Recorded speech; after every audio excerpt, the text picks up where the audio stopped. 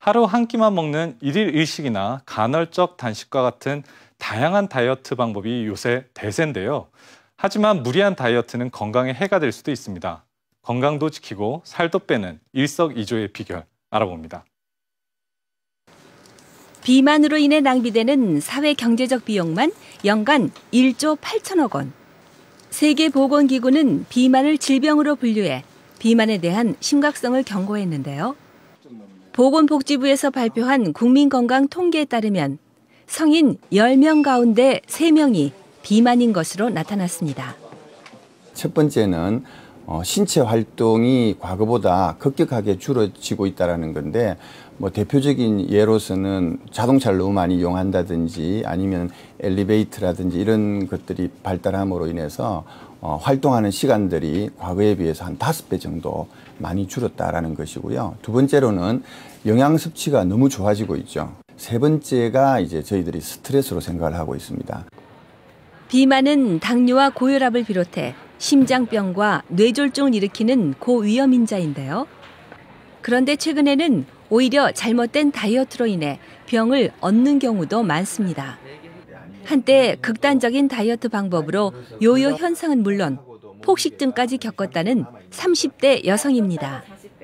대학교 들어가니까 친구들이 다들 예쁘고 이렇게 하다 보니까 저도 자존감이 낮아지고 해서 아, 이제 다이어트를 다, 저도 해서 살을 빼야겠다는 생각이 들었어요. 평상시보다 좀 적게 먹고 운동을 좀 더 많이 하면서 살을 한 20kg 정도는 뺐었거든요. 그런데 그동안 먹지 않았던 스트레스로 인해서 다시 폭식 증세가 오고 요요 현상이 이처럼 너무 무리한 다이어트는 체지방이 아닌 근육량을 줄여 오히려 살찌는 체질을 유발하는데요. 영양 불균형으로 인해 탈모나 빈혈은 물론 골다공증이나 담석증, 그리고 거식증이나 폭식증 같은 치명적인 부작용을 일으키기도 합니다. 따라서 다이어트와 건강이라는 두 마리 토끼를 잡으려면 장기적인 계획과 영양소 관리가 무엇보다 중요합니다.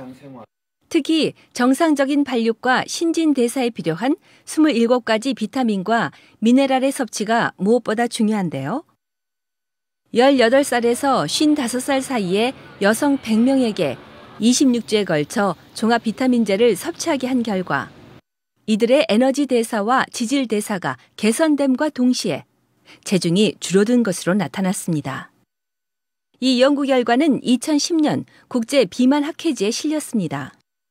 다이어트를 할 때 큰 부작용 중에 하나가 어, 균형 잡힌 식단 또는 영양의 균형을 그대로 잘 유지하기 어렵다라는 데 문제가 있는데 이런 경우에 실제로 종합 영양제 또는 종합 비타민 제제나 미네랄 제제를 섭취를 하게 되면 어, 그런 단점들은 충분히 보완을 할 수가 있게 됩니다.